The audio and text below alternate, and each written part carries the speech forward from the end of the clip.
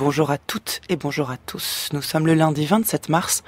Il est 10h pile du matin. Derrière les vitres du studio, le soleil est radieux. Alors surtout, ne bougez pas. Restez exactement où vous êtes. Et souvenez-vous qu'il n'en a pas toujours été ainsi.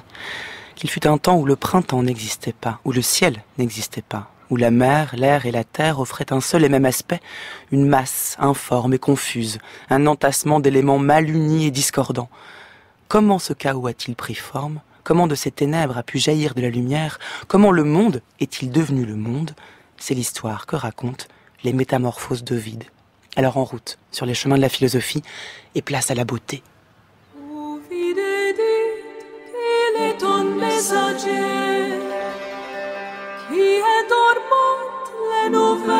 les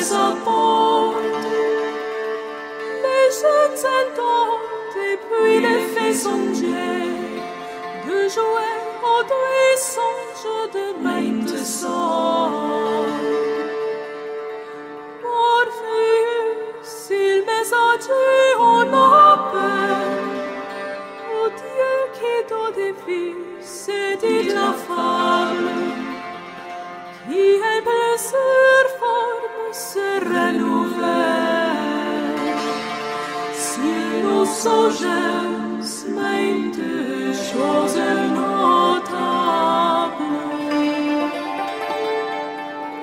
Bonjour Xavier Darcos. Bonjour. Ovid dit qu'il est un messager, dit ce chant de Christine de Paysan. Connaissez-vous un texte plus beau que les métamorphoses d'Ovide euh, en termes de masse, de dimension, peut-être pas. Euh, c'est un, immense fleuve euh, qui enchaîne sans cesse des images fortes, une mythologie extrêmement puissante, et donc c'est difficile quand même de ne pas être sensible à cette, à cette immensité, à cette dimension et à cette, à cette dynamique au fond de la création jusqu'à l'apothéose d'Auguste, du, de, de l'empereur. Et donc, euh, oui, c'est un, c'est un texte magnifique. Je dirais tout de même qu'il y a des petites formes très belles aussi. Et en particulier dans la littérature latine, je ferai une place très importante à, des poèmes comme comme les bucoliques ou des, poèmes plus brefs, des petits, textes qui sont aussi magnifiques.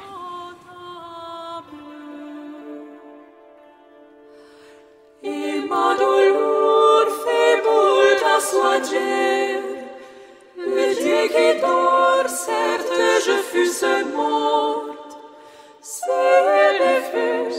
pleurer d'élégie, me fait sauvant car troublé desconfort.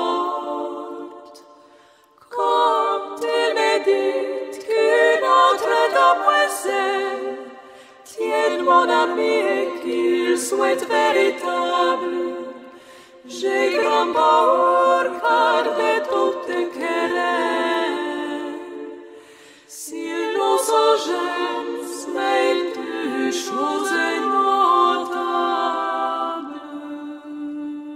Soyez le bienvenu en tout cas sur les chemins de la philosophie Xavier Darcos. Vous êtes ancien ministre, ancien professeur de Cannes également, membre de l'Académie française et de l'Académie des sciences morales et politiques. Vous avez publié en 2009 aux éditions PUF Ovide et la mort, et vous allez publier la semaine prochaine chez Fayard Virgile notre vigie. C'est dire votre connaissance de cette période. Alors d'ailleurs, décrivez-nous cette période quand Ovid écrit. C'est, euh, on est, on est au, basculement. Enfin, on, va vers le début de notre ère même. Tout à fait. Alors, Ovid, c'est un peu le, le tarvenu, c'est le dernier. Hein. Il a, il est de la génération qui suit Virgile. Il est né juste après euh, l'assassinat de César. En 43 avant Jésus-Christ. Il a il est adolescent lorsque euh, Auguste commence à, à s'installer, à prendre le pouvoir, et il va mourir euh, euh, en 17 après Jésus-Christ. Donc il est exactement, comme vous le dites, sur la bascule entre les deux. Et sa vie d'ailleurs illustre aussi, par les hasards de son destin, cette bascule, puisqu'il y a quand même deux grandes, euh, deux grands pans dans, dans, son écriture. Il y a euh, un premier qui est extrêmement mondain, qui est extrêmement euh, superficiel et drôle, qui est une poésie érotique, une poésie amoureuse, l'art d'aimer. Bon, et puis petit à petit, il y a un, sérieux qui apparaît dans son œuvre, en particulier avec les fastes, où il fait la, revue des grandes, des grandes fêtes romaines, des grandes fêtes religieuses, qui est un texte d'ailleurs absolument passionnant, aussi bien sur le plan de euh, l'écriture que sur le plan de l'histoire des idées, de l'histoire religieuse. Et puis, il, se lance dans cet euh, énorme projet, quand même, 15 000 vers tout de même, hein, les Métamorphoses, 15, 15 livres, euh, qui est de, de faire le catalogue de toutes les métamorphoses. Et entre les deux, dans ce, dans ce contexte, euh, il connaît aussi dans sa vie cette même déchirure, cette même brisure, puisque pour une raison qui reste d'ailleurs totalement euh, inexpliquée, euh, au milieu de sa vie, il est, il est exilé, banni, relégué par Auguste, qui du jour au lendemain euh, transforme cet homme très riche, ce grand patricien d'une famille fortunée, cet homme qui est un, un grand mondain de, de, la vie romaine, il le transforme en, en exilé. Et, on ne sait pas pourquoi il a été exilé. On ne sait pas exactement. Il parle d'une erreur. On dit qu'il a vu quelque chose qu'il n'aurait pas dû voir. Euh, c'est un débat absolument sans nom. La littérature sur les raisons de l'exil d'Ovide est euh, occuperait plusieurs plusieurs bibliothèques. C'est de son débat sans nom. Mais en tous les cas, c'est secondaire. Ce qui est surtout très très grave, c'est que euh, du coup cette, cette bascule de sa vie l'oblige à revisiter tout ce à quoi il a cru, son mode de vie. Il écrit une autre littérature extrêmement nostalgique, extrêmement extrêmement tragique même, les, les, tristes élépantiques, et il va devenir l'archétype, le, premier modèle du poète exilé, auquel tout le monde se référera, euh, jusqu'à Mandelstam, lorsqu'il est dans son goulag, il appelle son, récit d'exilé, il appelle ça Tristia, c'est-à-dire il reprend le titre ovidien. Donc un personnage vraiment intéressant sur le plan de sa, de son existence et de la richesse de son écriture. Comme si, au fond, euh, l'auteur des Métamorphoses savait que toute vie est une, est une mutation un passage d'un état à un autre et qu'il avait quasiment anticipé son propre destin. Rappelons aussi qu'il appartient à la génération qui suit celle de Virgile et d'Horace, hein, les, poètes du régime d'Auguste, et que lorsque Virgile décrit les guerres, Ovide d'abord décrit les passions amoureuses. Hein, il a écrit beaucoup d'ouvrages, les remèdes à l'amour, sur l'amour, l'art de ne pas souffrir, sur vraiment comment comment composer avec ces passions-là, alors que les métamorphoses elles-mêmes on l'a dit, traduisent le passage d'une époque à une autre, mais elles sont aussi écrites à l'aube d'une métamorphose, celle-ci culturelle, hein, celle de la civilisation gréco-romaine au contact du christianisme. Oui, absolument. c'est la, génération qui suit, Virgile, et c'est une génération qui euh, a le sentiment plus poussé que ne l'avait Virgile Horace de d'un nouvel ordre du monde qui va commencer.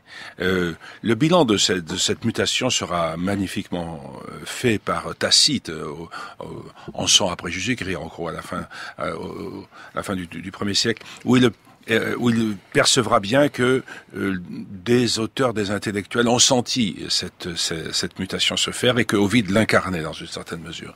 Donc euh, voilà la figure de la figure de l'exilé aigri euh, se superpose à la figure du, euh, du poète enthousiaste décrivant la, la romanité dans toute sa splendeur et l'agressité aussi, puisque les métamorphoses viennent surtout de la mythologie grecque. ce double registre euh, de l'écriture d'Ovide en fait un, un, modèle qui a été beaucoup, beaucoup, beaucoup cité. Le terme même de métamorphose indique le contenu du texte. Il s'agit de décrire des, mutations, des transformations, pas simplement visuelles, mais aussi celle de l'âme qui va s'incarner de corps en corps. On est à la fois dans ce qu'on appelle la métampsychose et la palingenèse, c'est-à-dire toute une reproduction. Rien, rien ne se perd. Tout se, tout se crée en permanence et renaît sans cesse. Mais ce qu'on ne sait pas forcément, c'est que le début des métamorphoses commence avant même le début du monde. Et les premières pages décrivent eh bien, le récit de la mise en forme du monde. Écoutez ce début absolument inouï, c'est le cas de le dire à l'époque, ici interprété par Georges Claes.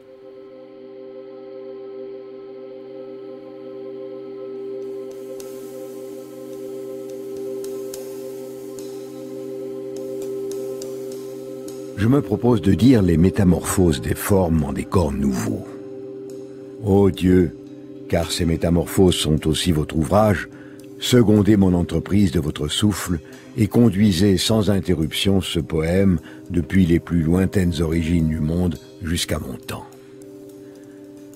Avant la mer, la terre et le ciel qui couvrent tout, la nature dans l'univers entier offrait un seul et même aspect on l'a appelé le chaos. Ce n'était qu'une masse informe et confuse, un bloc inerte, un entassement d'éléments mal unis et discordants. Partout où il y avait de la terre, il y avait aussi de la mer et de l'air. Ainsi, la terre était instable, la mer impropre à la navigation, l'air privé de lumière. Aucun élément ne conservait sa forme. Chacun d'eux était un obstacle pour les autres, parce que dans un seul corps, le froid faisait la guerre au chaud, l'humide au sec, le mou au dur, le pesant au léger. Un dieu, avec l'aide de la nature en progrès, mit fin à cette lutte. Il sépara du ciel la terre, de la terre les eaux, et il assigna un domaine au ciel limpide, un autre à l'air épais. Après avoir débrouillé ces éléments et les avoir tirés de la masse ténébreuse en attribuant à chacun une place distincte, il les unit par les liens de la concorde et de la paix. La substance ignée et impondérable de la voûte céleste s'élança et se fit une place dans les régions supérieures. L'air est ce qui en approche le plus par sa légèreté, par sa situation. La terre, plus dense, entraîna avec elle les éléments massifs et se tassa sous son propre poids. L'eau répandue alentour occupa la dernière place et emprisonna le monde solide. Lorsque le Dieu, quel qu'il fût, eut ainsi partagé et distribué l'amas de la matière, lorsque de ses différentes parts il eut façonné des membres, il commença par agglomérer la Terre pour en égaliser de tous côtés la surface sous la forme d'un globe immense. Puis, il ordonna aux mers de se répandre, de s'enfler au souffle furieux des vents et d'entourer d'une ceinture les rivages de la terre.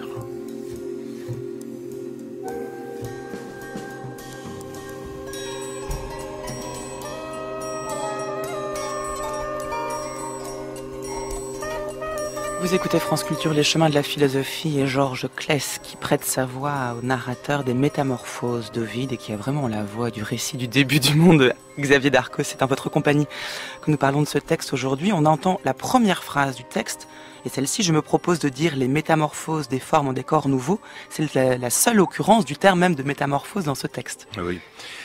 C'est toujours dommage euh, qu'on ne puisse pas entendre ce texte en latin qui est absolument magnifique aussi, je voulais le signaler. Euh, ce qui est intéressant dans ce, dans ce texte, c'est d'abord que il y a là donc une théorie du chaos, euh, il y a quelque chose avant, avant le monde, euh, ce qui n'est pas une idée qui allait de soi pour les anciens, puisqu'ils étaient plutôt dans l'idée du cycle, hein, de, de, de, euh, du, système des âges, de, depuis de l'âge d'or, etc. et donc, euh, l'idée qu'il y ait avant tout cela un euh, rien, euh, un chaos informe, n'est pas une idée latine hein, ou gréco-latine. Et la deuxième, deuxième chose très étonnante, comme on l'entend très bien dans l'excellente euh, lecture qui vient d'être faite, il dit le Dieu, mmh, quel qu'il fût. Un Dieu, avec l'aide de la nature en progrès. Oui. Alors donc il y a un Dieu, le, le ouais. un Dieu unique, n'est-ce pas? Donc tout ça ne, ne, fonctionne pas complètement avec la, la, la mentalité antique, qui croit au contraire euh, au, au, au, à l'âge d'or, à l'âge d'argent, à l'âge de bronze, à l'âge de fer, qui, pense, qui croit au cycle et qui est polythéiste. Euh, alors, on comprend mieux lorsque on entend ce, ce texte, ce que euh, dit Ovide. Au fond, il y a eu un, un, un moment où tout était mélangé. Le chaud, le froid, le lourd, le léger, le feu et la glace. Et il fallait bien que l'ordre règne, que quelque chose de l'ordre de, de, de, la, de la culture s'impose. Et pour cela, il fallait séparer les éléments. Et donc, euh, l'idée première, c'est que c'est un peu un, protocole de lecture du poème lui-même. Euh, dans la confusion générale, il va bien falloir faire un peu de taxinomie, il va bien falloir un peu classer, ranger des choses. Comment va-t-on faire Et donc, le, non seulement le début de, de, du premier livre des Métamorphoses est en effet original dans son sujet comme dans sa forme, mais euh, de surcroît, il est extrêmement moderne parce qu'il il met le lecteur en situation par rapport à ce qu'il va lire ensuite. Il y a une mise en scène du texte, parce que là on a entendu le, le, début du premier livre, mais il y a une espèce de prologue dans lequel Ovide euh, explique les conditions de rédaction du texte. Hein. Il écrit à ce volume orphelin de père, qui que tu sois, toi qui le touches, fais au moins une place dans ta ville. Je te dirai, pour que tu lui accordes une plus grande faveur, que je ne l'ai pas mis au jour, mais qu'il a été comme dérobé aux funérailles de son maître. Tous les défauts que possède ce poème ébauché, je les aurais corrigés si je l'avais pu. Oui. Il y a ici à la fois un aveu de, disons, presque de coquetterie. Donc si ce texte n'est pas parfait, mais c'est bon, c'est parce que je n'ai pas pu le retoucher jusqu'au bout, parce que j'ai été exilé. Et en même temps, il demande l'adhésion au lecteur. Exactement. Il y a, il y a une modernité aussi de d'Ovid dans sa, dans son adresse au lecteur plusieurs fois. Euh, où il, avec une métaphore bien connue des anciens, il dit mon livre c'est comme euh, nous nous dirions une bouteille à la mer, lui il dit plutôt un, un, un une embarcation, un petit bateau qui part, tâche de lui, de l'aider, de l'aider à, à, mener son chemin. Mais le premier vers des, qui a été lu tout à l'heure à propos je me propose de, de, dire les métamorphoses oui, des c'est quand même très étonnant parce que là, en latin il dit exactement ceci Inoa fert animus mutata dicere formas corpora. Il dit Inoa fert c'est-à-dire fert animus, mon âme est portée, mon âme me, me, pousse à, je dois. Il y a quelque chose de l'ordre du, de la, de, du, du... de la mission? Oui, Absolument, c'est de, la mission, quelque chose comme ça. C est, c est, il faut que, il faut que je dise ça, il faut que je fasse ça. Nous allons, nous allons essayer de le faire. Et comme vous dites, en plus, en utilisant pour une seule fois et pour une dernière fois, la, la notion même de métamorphose qui ne sera plus formulée telle qu'elle. Alors que ça va très loin. Je veux dire, derrière le thème de métamorphose, il y a toute une philosophie au sens fort du terme mm. du monde et de la création qui consiste à dire euh, que rien, pour paraphraser Lavoisier, qui lui-même mmh. paraphrase sans doute au vide, hein, que rien ne se rien ne se perd, tout se transforme. C'est-à-dire qu'on n'est jamais, il y, a jamais un début Or, le texte lui-même euh, semble mettre en, mettre en, en terme, en forme justement, cette proposition de début. C'est toute la force du mythe ici qu'on entend. Le mythe est ce qui va donner un sens à ce qui n'en a pas. Ajoutons à cela que euh, la métamorphose n'est pas un mythe, que la chenille qui devient papillon, c'est pas un mythe. Et donc, euh, ce qui est intéressant dans, dans, le, dans, la mythologie quand même du, de, de la métamorphose, c'est que elle peut s'adosser de temps à autre à, à une sorte de, de réalité du monde. Le monde est une métamorphose, métamorphose permanente. Et beaucoup de poètes, de, notamment au XVIe siècle, s'y sont beaucoup mmh. intéressés. On a tous appris au Dieu que véritable est la philosophie, qui dit que toute chose en changeant périra. Pas et, tous, on bon, enfin, pas, pas tous comme professeur. Les, les, les, poètes de, de la Pléiade ont adoré ça. Et au XIVe siècle, le, le, lorsqu'on a parlé d'Aetas, Ovidiana, de cette période où Ovide était une sorte de demi-dieu sur terre pour tous les intellectuels, tous les écrivains, ce, ce qui intéressait précisément chez Ovide, c'est que il, euh, il avait peut-être compris, euh, du moins le croyait-on, la clé de la création. Vous, vous avez, mm. Nous avons commencé par, euh, par Christine de Pisan. Elle, est, elle vient chant, directement de, de, ce fameux texte qui a été extrêmement diffusé au XIVe siècle, qui s'appelait l'Ovide moralisé, n'est-ce pas Que tout le monde lisait. Qui était, et l'Ovide moralisé, comme son nom l'indique, c'est-à-dire on cherchait dans Ovide les clés pour comprendre ce que devait être le, le destin de l'homme, la relation ce de qui est la fonction du mythe c'est exactement la fonction mmh. du mythe, mais on attribuait, bien sûr, mais on attribuait à, à Ovide le, le mérite d'en avoir euh, fait une synthèse absolument parfaite, et il devenait le, le magister, la référence totale. Le, le, le succès de l'Ovide moralisé est absolument considérable. Au XIVe siècle, ça a été sans doute l'œuvre la plus, la plus connue, la plus commentée, la plus utilisée euh, dans les milieux de, des intellectuels, des écrivains, des penseurs, des artistes. Mais c'est-à-dire qu'il suffit même de le feuilleter pour voir la postérité qu'a eu ce texte, autant des références qui sont devenues communes, que ce soit le mythe de Narcisse, le mythe d'écho, le terme même de proté, protéiforme qu'on trouve ici dans ce texte, c'est beaucoup de pactole, le fleuve mmh. pactole qui charrie de l'or, et aujourd'hui on parle de pactole, de, autant de traces qui restent aujourd'hui sans qu'on remonte jamais jusqu'aux sources. En fait, on ne mesure pas l'impact qu'a eu ce texte-là sur notre culture aujourd'hui. Oui, parce que tous ces mythes, ils existaient, mais ils étaient éparpillés euh, et plus ou moins connus.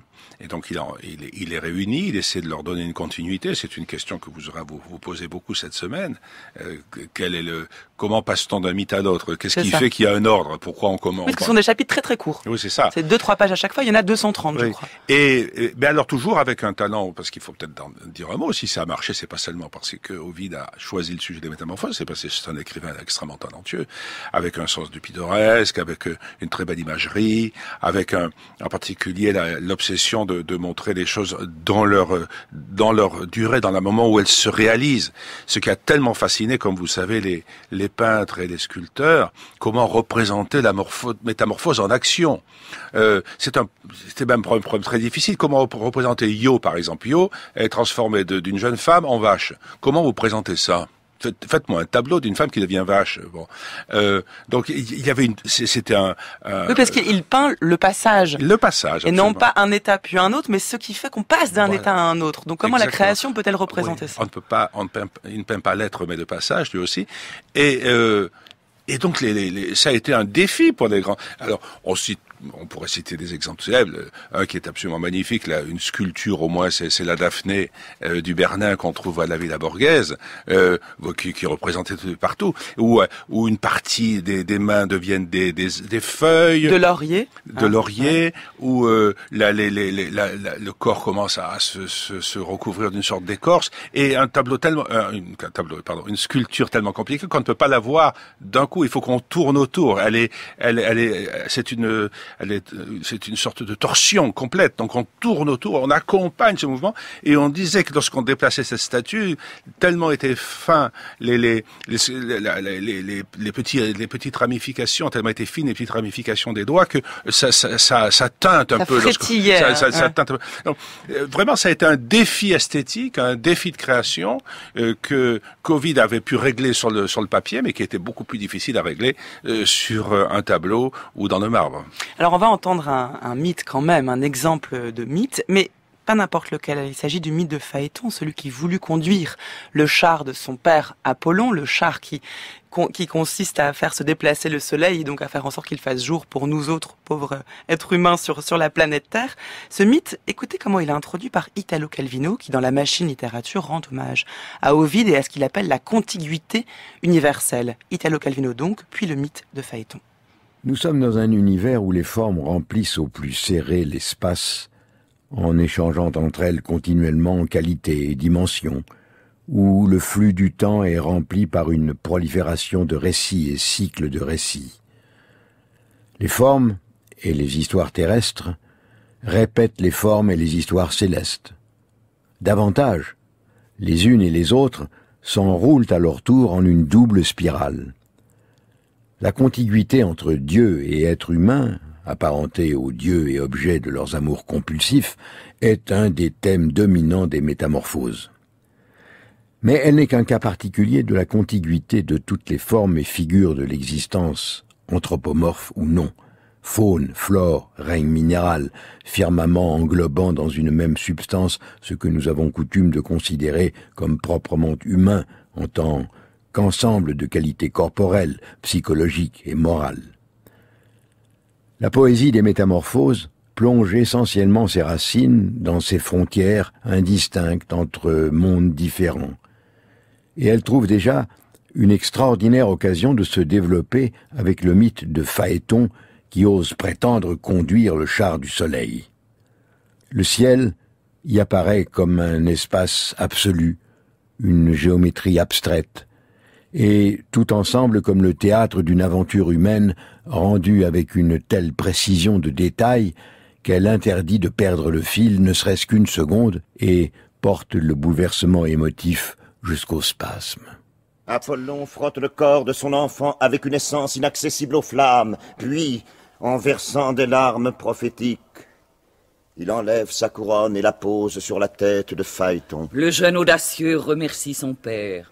Il saute sur le char strident, saisit les rênes, pousse un grand cri. Les chevaux s'élancent dans le vaste ciel et refoulent les nuages en agitant leurs pieds. Mais le fils de Climène est trop léger. Semblable à un navire qui n'a pas assez de lest et que la mer bouscule, le char solaire, privé de sa charge habituelle, bondit au plus haut des cieux. Quand Phaéton jeta ses regards au-dessous de lui, la terre lui apparut si lointaine qu'il sentit défaillir son cœur. Il ne sait de quel côté se diriger. Et même s'il le savait, pourrait-il imposer sa volonté à des chevaux de flamme? Cependant, le char ne suit plus sa route accoutumée. Le quadruple attelage s'est jeté sur la droite. Alors les astres glacés du pôle septentrional s'échauffèrent pour la première fois.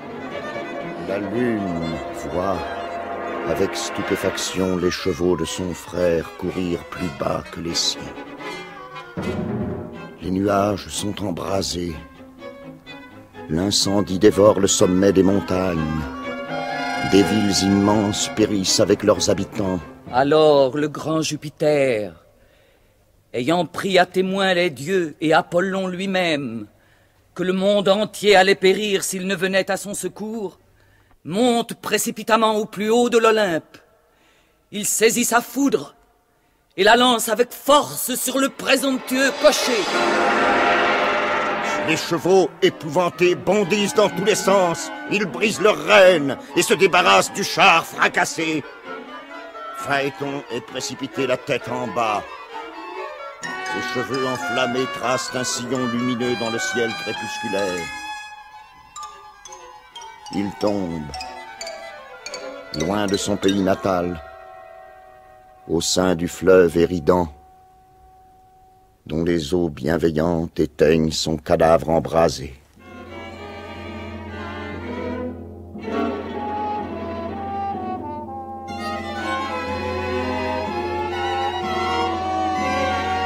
Vous écoutez France Culture, les chemins de la philosophie et l'interprétation, enfin l'adaptation radiophonique des Métamorphoses de Vide, diffusée lors de la soirée de Paris le 3 février 1967.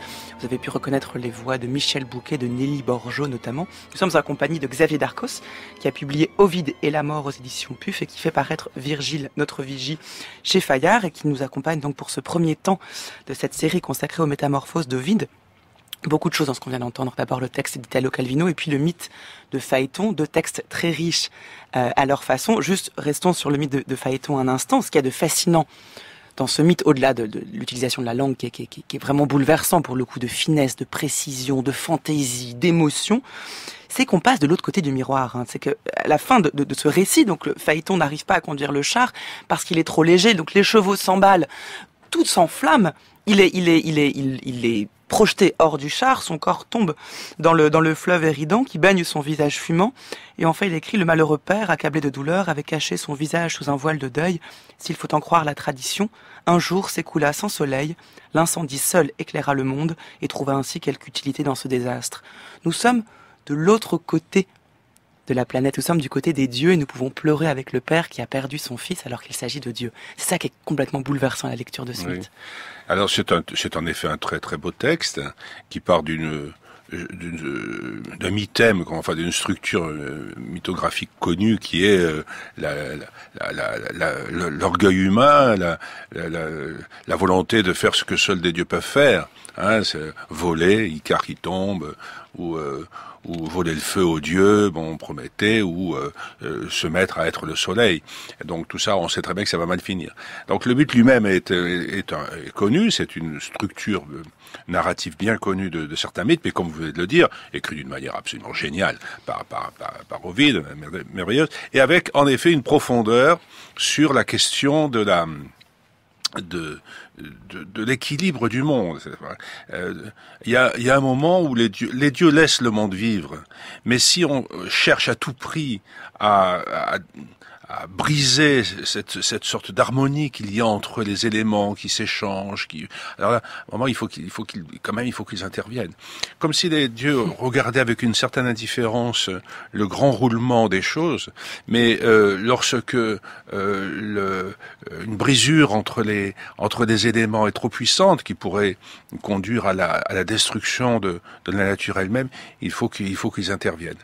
Il y a une Euh, bienveillance et parfois une fureur. Hein. Jupiter, quand même, au début, de- veut punir l'humanité Oui. et produire un déluge de manière à ce qu'on recommence et on repart de zéro. Oui, ah bah, le déluge, c'est comme, comme dans la- l'Ancien Testament. Nous Voilà. l'avons pas dit tout à l'heure, mais la- la- le chaos, la, la destruction, le déluge, la destruction des hommes et la, le renaissance des hommes purs, c'est la même structure que, que la jeunesse, que, que l'Ancien Testament. Alors, ce- cela dit, ce qui est tout à fait formidable dans ce que nous avons entendu, c'est aussi la manière dont Calvino en parle, parce que Calvino montre, montre euh, très bien que pour les anciens, c'est très vrai chez Virgile aussi, hein, mais enfin chez, chez Ovide euh, plus tard euh, également, euh, c'est que il n'y a pas de, il n'y a pas d'hiatus entre l'homme et, son environnement, que nous sommes dans une sorte de pananimisme, que sève et sang sont, de, sont même chose, et que attenter à quoi que ce soit autour de soi, à une feuille, à, un oiseau, un animal, à, un fleuve, que c'est, c'est prendre des risques inutiles. Parce que c'est introduire une, une rupture dans un ordre qui est, est, est équilibré, qui est fragile, et où tout vit tout vit, tout est plein d'âme, comme dirait Victor Hugo, Mm. hein, dans la bouche d'ombre. Et donc, euh, euh, aller chercher à, à détruire, c'est euh, prendre le risque de se détruire lui-même. Ça, c'est vraiment l'essence du paganisme. Et entre de soi dit, je trouve que c'est beaucoup plus intéressant que le monothéisme. C'est-à-dire cette idée qu'il y ait partout de- des forces, des, des, des puissances, des, des, des influences qui se trouvent à, à, tout, à tout lieu, sous toute forme, dans la faune comme dans la flore comme dans l'humain, et que tout cela fait un équilibre parfait. Alors on peut évidemment on peut y toucher, mais il faut pas trop trop y toucher. Et d'ailleurs c'est quand on y touche trop qu'on passe de l'un à l'autre. Nous parlions tout à l'heure de, Mm. euh, de, de- du mythe de Daphné. C'est parce qu'on veut à tout prix empêcher cette Daphné de rester Alors, vierge. rappelez l'histoire de Daphné Ah, quand même, pour Daphné, ceux qui la connaissent elle est, pas. po- elle est poursuivie par un dieu qui veut la posséder, et Apollon. comme elle veut, euh, par, par Apollon, et comme elle veut absolument rester vierge, eh bien, elle dit au dieu, transforme-moi, empêche qu'on. Eh ben, d'accord, il n'y a aucun problème. Elle passe de femme à, euh, à plante, à plante, Laurier, à en laurier. fait. Euh, et donc, euh, euh, il y a tellement peu, la nature est, un ensemble tellement harmonieux que la seule façon d'échapper à un- une rupture trop violente dans, le monde, c'est d'aller rejoindre un autre ordre dont on est déjà parent, c'est-à-dire c'est aller se fondre ailleurs dans le grand tout. Et cette, cette idée, alors elle est tout à fait présente chez Virgile. Hein. Virgile est obsédé par l'idée que toute discorde, c'est le mot qu'il utilise le plus volontiers, que toute discorde, de quelque nature que ce soit, aller polluer une source, euh, ne pas écouter le bruit des feuilles dans le vent, euh, euh, être chasseur, euh, euh, enfin mettre du désordre dans cet ordre, dans cet ordre écologique, c'est la garantie d'avoir beaucoup d'embêtements. C'est ce qui les distingue quand même, Virgile et, euh, et Ovide, euh, de Lucrèce, qui dans son poème de la nature, dans le, matérialisme qu'il propose, le matérialisme épicurien qu'il propose, euh, laisse une place au hasard. Le clinamen, qu'est-ce que c'est si ce n'est cette légère déviation d'un atome à un moment donné qui fait que bah, de, ce que l'on voit va naître autre chose. Ce sont Alors, deux conceptions du monde différentes. C'est deux conceptions tellement différentes. En plus, il y a chez Lucrèce quand même un athéisme de fond qui euh, qui refuse de croire que la divinité puisse intervenir, quel que soit, euh, tant la religion a pu y persuader d'erreur. Hein vous vous souvenez de cette citation célèbre. Euh, et il y a chez chez chez, chez Lucrèce, après Épicure, une une volonté quand même de, de donner une explication, explication rationnelle du monde où le hasard et la nécessité jouent un rôle très important. Euh, je ne suis pas certain, qu'on, euh, vous le disiez d'ailleurs, nous ne sommes pas vraiment dans le même état d'esprit avec euh, avec Virgile et, et Ovide. Nous sommes dans un monde où tout tout tout tout frémit de vie. Sous, sous des formes les plus diverses et, et bien loin d'être euh, euh, là un monde sans Dieu, c'est un monde qui est plein de Dieu. Il y a du Dieu partout, si je puis dire. Il y a du divin partout. Ou en tous les cas, de ce qu'on appellera le divin, faute de savoir le nommer autrement. A une espèce de frémissement de vie perpétuelle qui fait que rien ne s'arrête. Et c'est bien le sens de la métamorphose. La métamorphose, elle dit ça. C'est que le sens profond de la métamorphose, c'est la permanence d'une vie euh, sous euh, diverses formes euh, ou d'une forme à l'autre. Voilà, la question est de savoir si cette permanence est l'expression d'une seule et même substance. C'est ce que dit Italo Calvino dans son texte. hein. Il dit que faune, flore, règne minéral, firmament englobe dans une même substance ce que nous avons coutume de considérer comme proprement humain, en tant qu'ensemble de qualités corporelles, psychologiques et morales. On parlerait aujourd'hui quasiment d'antispécisme, hein, c'est-à-dire que nous sommes faits du même bois, tous, euh, y compris ce qui n'est pas ce qui n'est pas euh, végétal, donc même le minéral et l'humain, ou si il y a une harmonie entre différentes substances, que c'est pas du tout la même chose. Qu'est-ce que vous en pensez, David Darcos? Je ne sais pas, euh, je ne sais pas répondre à cette question. Ce que je crois plutôt, c'est que euh, la métamorphose manifeste un la permanence de la vie à travers toutes ses formes, et deux le fait qu'on finit toujours par devenir ce que l'on est. C'est-à-dire que lorsqu'on est dur, cruel, etc., on deviendra pierre. Lorsqu'on pleure tout le temps parce qu'on est malheureux, etc., on deviendra source ou Il y a un lien de tempérament entre ce que nous sommes et ce que nous serons Voilà. après notre Et mort. lorsqu'on est un- euh, une figure d'élite, euh, déjà un demi-dieu sur Terre, on deviendra une étoile, parce que notre âme est tellement pure, c'est tellement un feu intérieur qu'on va devenir un astre. Ce qu'on appelle l'apothéose. l'apothéose, ou les, les latins parlaient même de catastérisme, c'est-à-dire l'idée qu'on devenait Une étoile. On devenait une étoile. Et alors, euh, le, le- la mythologie euh, de la de la fin du premier siècle avant Jésus-Christ euh, et, et de l'Empire euh, s'en est beaucoup servi pour, en effet, comme vous le dites, euh, faire l'apothéose. Alors, on prétendait, par exemple, que le, lors du bûcher de, de, de de César, on avait vu une étoile filante. On a le récit de l'apothéose de Jules César dans les Métamorphoses Alors c'est tout à fait. Et donc cette idée qu'au fond, chacun a une substance naturelle, en tous les cas un caractère particulier, qui finira par s'accomplir au bout de la métamorphose. Entre depuis le, le, le, le cruel qui devient lion ou la jolie jeune fille qui devient laurier, jusqu'aux élus, euh, les, les, plus, les plus prestigieux, qui deviennent des étoiles que l'on peut regarder circuler dans le ciel. Voilà l'apothéose de César juste avant l'épilogue, parce qu'on va entendre la, la, fin du texte, on va passer du début à la fin, votre compagnie Xavier Darcos, parce que c'est la même chose au fond. Hein. C'est tout ce que nous avons dit jusqu'à présent conduit conduit à cette fin. À cette fin, pardon. Écoutez l'apothéose de César. Euh, Ovid l'a décrit ainsi. Après avoir égalé le grand âge du vieillard de Pylos, César entrera au séjour éthéré au milieu des astres de sa famille. Cependant, emporte avec toi cette âme qui s'échappe de son corps immolé et change-la en étoile, pour que le divin Jules veille à tout jamais du haut des célestes demeures sur notre Capitole et sur le Forum. Il avait à peine fini de parler que la bonne Vénus s'arrête au milieu du palais du Sénat. Invisible pour tous, elle enlève du corps de son cher César l'âme qui vient de s'en séparer, et pour l'empêcher de se dissiper dans les airs, elle la porte au milieu des astres du ciel. Cependant, elle s'aperçoit que cette âme s'illumine et s'embrase. Elle la laisse échapper de son sein. L'âme s'envole au-dessus de la lune, et traînant après soi à travers l'espace une chevelure de flamme, elle prend la forme d'une étoile brillante. C'est pas, pas dit. Alors, je sais pas si c'est parce que vous le lisez merveilleusement, mais je trouve ce texte le, le texte absolument... mais, mais, mais, toutes les métamorphoses d'Ovid sont comme ça. Chaque fois que je l'entends, j'en suis presque ému. Parce que je trouve l'image en particulier, parce que ce qu'il faut ajouter à cela, c'est que il y a, euh, c'est pas n'importe qui qui va le chercher, c'est Vénus, qui est, qui est l'ancêtre de La César. bonne Vénus, est-il dit, la bonne Vénus, déesse Parce que César prétendait descendre de Jules, Jules César, Jules qui était le fils d'aîné, lequel aîné a pour mère Vénus. Et donc c'est son ancêtre qui vient le, prendre dans son sein et, et il s'échappe tout seul. Et, et, ensuite il va être cette étoile qu'on qu qu regardera dans le ciel. Il y a d'ailleurs chez Ovid une obsession euh, du monde stellaire. Hein. Il a beaucoup parlé de cela dans les faces. Euh, euh, parce que, alors, les anciens, évidemment, le regardaient sans cesse, le monde stellaire, parce que c'est ce qui leur permettait de savoir où aller et quelle heure il était.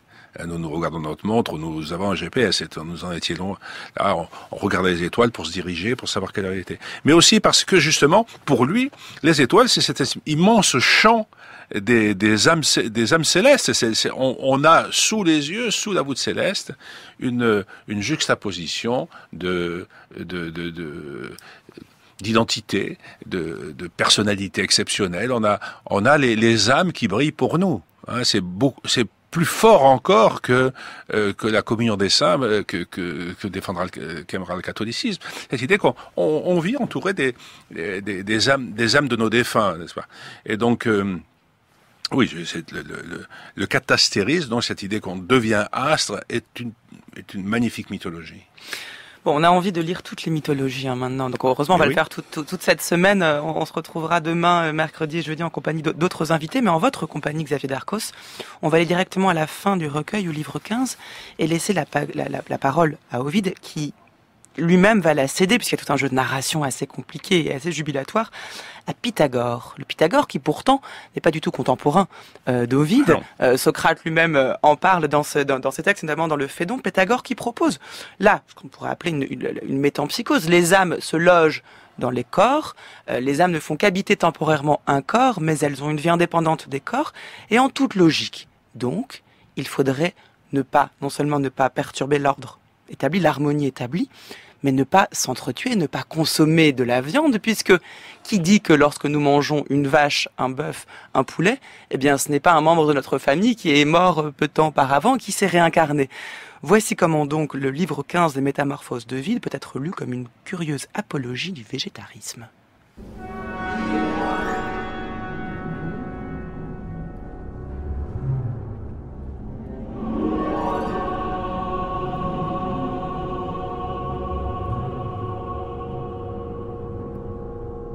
Pythagore, après avoir par la puissance de son génie et par un travail infatigable pénétré tous les secrets de l'univers, les communiquait aux autres.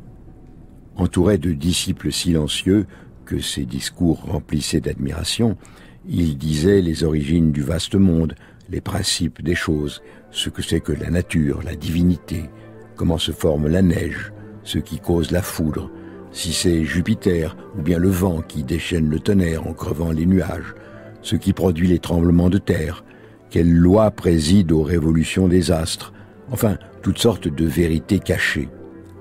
Le premier, il fit grief aux hommes de servir sur les tables la chair des animaux. Le premier, il tint ce langage plein de sagesse qui pourtant ne fut pas écouté. Abstenez-vous, mortels, de souiller vos corps de mets abominables.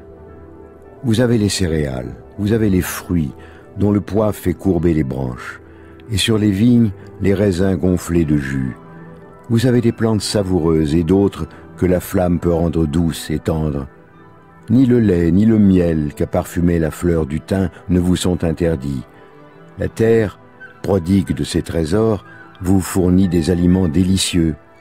Elle vous offre des mets qui ne sont pas payés par le meurtre et le sang. Le ciel, et tout ce qu'il y a dessous, change de forme, aussi bien que la terre et tout ce qu'elle contient. Nous aussi, qui faisons partie du monde, puisque nous ne sommes pas seulement des corps, mais aussi des âmes légères, nous pouvons aller habiter des formes de bêtes sauvages, être cachés dans des corps d'animaux domestiques. Ces corps, qui peuvent avoir reçu en partage les âmes de nos parents, de nos frères ou d'êtres qui nous sont unis par les liens du sang, en tout cas des âmes humaines, laissons-les vivre tranquilles et respectés.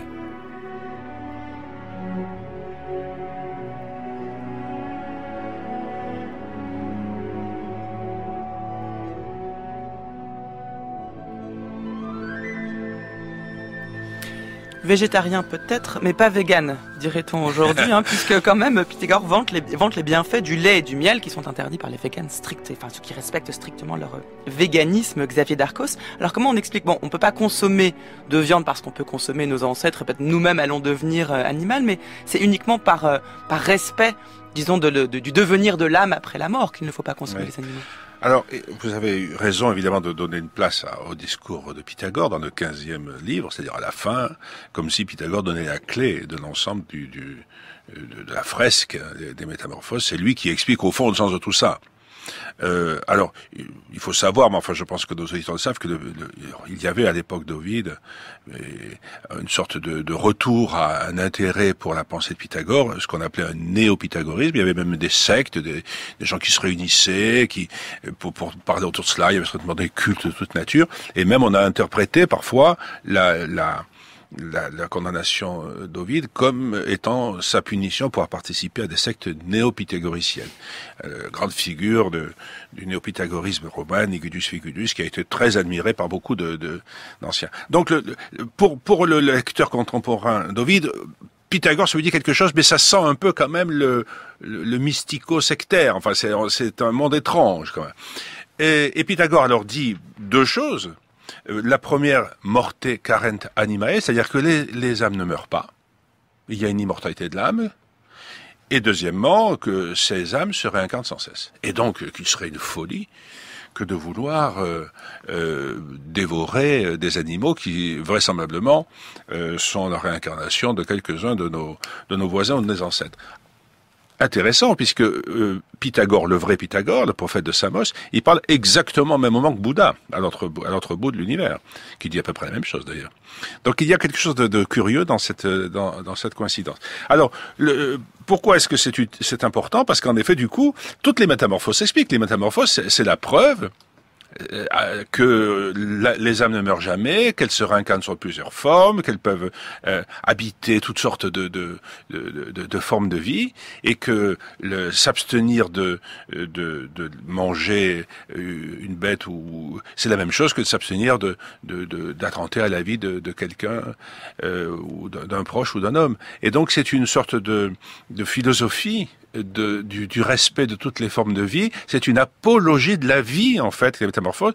Et le dernier mot, le dernier mot des métamorphoses, c'est le, c'est le futur du verbe vivre. Oui, wam, je vivrai. Ça, c'est sublime. C'est que vraiment le- le- les dernières phrases, Ovid semble s'adresser directement à la, à la postérité. Je le lis pour le plaisir des- prie, des oui. oreilles. Ça, c'est le plaisir. Et maintenant, j'ai achevé un ouvrage que ne pourront détruire ni la colère de Jupiter, ni la flamme, ni le fer, ni le temps vorace. Que le jour fatal, qui n'a de droit que sur mon corps, mette, quand il voudra, un terme au cours incertain de ma vie.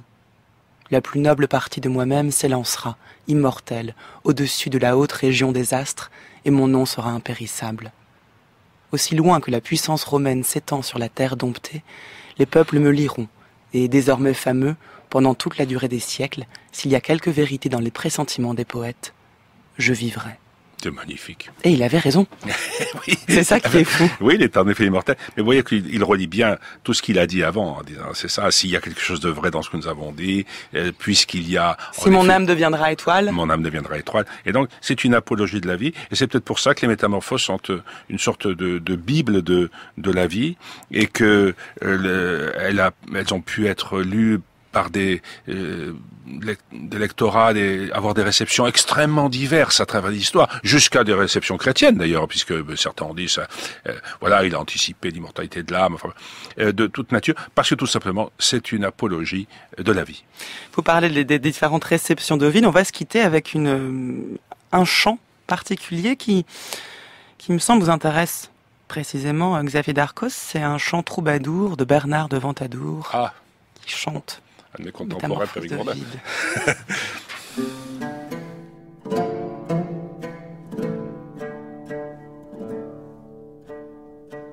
Kan Leila laut sita mover De joys a salas contra el rey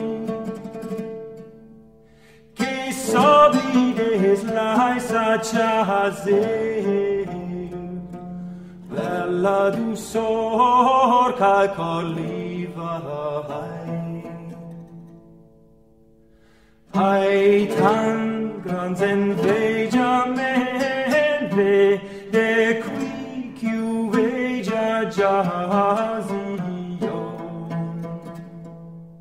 meraviglia sai cardesse loco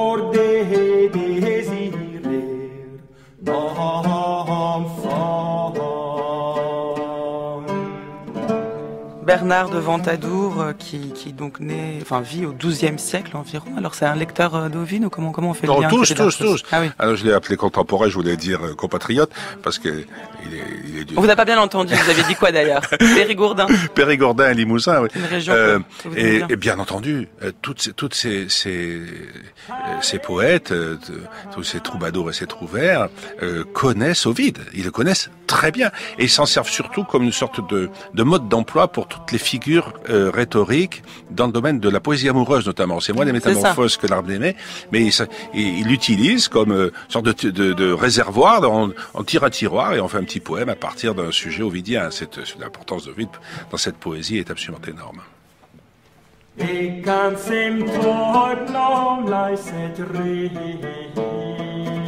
Un grand merci à vous Xavier Darcos d'être venu nous, nous transmettre votre passion d'Ovid aujourd'hui.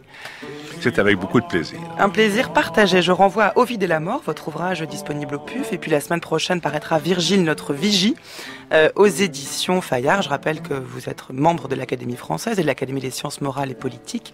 Et en, qu'en plus d'être un ancien ministre, vous êtes également, mais ça on l'aura entendu, un ancien professeur de Cagne.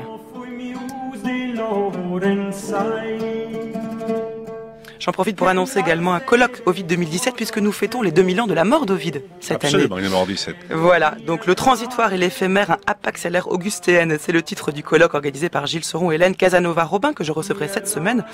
Euh, c'est une manifestation qui se tiendra à l'Université Paris-Sorbonne, salle des Ac. Les 27, c'est aujourd'hui, et 28 mars, ça, c'est demain. Les références sont en ligne sur le site des chemins de la philosophie. Sur France Culture, il est l'heure de retrouver, comme tous les jours, les deux minutes papillons de Géraldine Mosna-Savoie. Bonjour Géraldine. Bonjour Adèle, bonjour à tous. Comme tous les jours, vous nous donnez envie de, de lire un livre qui vient de paraître, un livre de philosophie généralement. C'est le cas aujourd'hui puisqu'il s'agit d'un livre sur Diogène le cynique. Oui, c'est une monographie sur Diogène le cynique par Étienne Elmer qui est parue dans l'excellente collection des belles lettres figures du savoir. Alors excellente collection parce qu'elle nous plonge dans le parcours, l'œuvre et la réception d'un philosophe de manière claire et même palpitante, faisant de sa vie une véritable aventure intellectuelle. En tout cas, c'est l'impression que l'on a et que l'on peut retrouver ici avec Diogène, d'autant que ce que l'on sait de son existence semble s'y prêter parfaitement. Alors voici par exemple quelques-uns quelques de ses exploits, cracher au visage de l'un de ses hôtes, faire l'amour et se masturber sur la place publique, et conduire, et conduire Alexandre le Grand, voler dans les temples pour vivre, et même faire l'apologie de l'inceste et de l'anthropophagie. Alors certes, une fois rappelé ces anecdotes, on peut se demander en quoi il s'agit encore d'une vie intellectuelle, on peut se demander à juste titre si Diogène était un, un philosophe avec justement beaucoup de philosophie, à juste titre, et justement, la redondance n'est pas de trop pour un tel personnage qui avait fait de l'excès et de la démesure ses principes mêmes de philosophie, et elle n'est pas trop non plus, de trop non plus pour se demander comment donc rendre justice à celui qui philosophait comme un chien, en aboyant contre les conventions, en vivant à la marge, tout voué au présent de ses désirs et de la fortune. Mais la question est double, elle concerne à la fois Diogène, comment faire un portrait juste de sa philosophie pas comme les autres, et elle concerne aussi plus largement l'activité philosophique, qu'est-ce que philosopher au juste? Parce qu'il ne séparait pas ses paroles de ses actes, parce qu'il les mettait en adéquation, en parlant vrai et en faisant vrai, à force de pique et de répartie, mais aussi parce qu'il s'adressait à chacun également, sans égard aux distinctions c'est ainsi que Diogène voulait viser juste. De là, la justice qu'il y a à prendre en compte toute philosophie singulière, mais aussi la justesse qu'il y a à vouloir réveiller chacun des individus à se questionner sur sa propre place. Philosopher comme un chien, l'image est belle. C'est pas facile, hein, Géraldine Non, c'est pas facile, mais vraiment, cet ouvrage est passionnant. On sait comment on peut faire pour philosopher comme un chien grâce à Étienne Elmer et cette monographie Diogène le cynique parue aux belles lettres. Merci Géraldine, merci à tous. Les chemins de la philosophie touchent à leur fin. On se retrouve demain pour la suite de cette semaine sur les métamorphoses d'Ovide. Demain, je recevrai Jean-Luc Lévrier. On s'interrogera sur la dimension politique de ces métamorphoses. Merci à Livia Garrigue qui a préparé cette émission, Nicolas Bouclou, Antoine Ravon, Marianne Chassor, Nicolas Berger qui réalise cette semaine, Juliette Delperrou, votre compatriote périgourdine, Xavier Darcos, qui était à la prise de son aujourd'hui. Rendez-vous sur nos pages Facebook et Twitter où nous mettons en ligne l'émission du jour et attendons vos remarques et commentaires. Puis sur le site de France Culture, vous pourrez télécharger cette émission afin de la réécouter où vous voulez et quand vous voulez grâce au podcast.